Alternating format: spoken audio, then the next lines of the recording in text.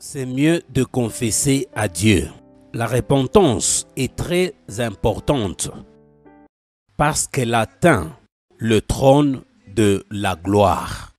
Cela veut dire que quand quelqu'un commet un péché, n'importe lequel, ça peut être pardonné à travers la repentance. Quand quelqu'un se repent de ses péchés, il doit les confesser. La confession est un commandement positif.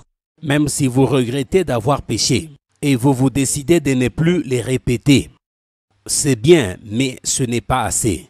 Vous devez en soi dire, Seigneur, j'ai péché contre toi et je suis coupable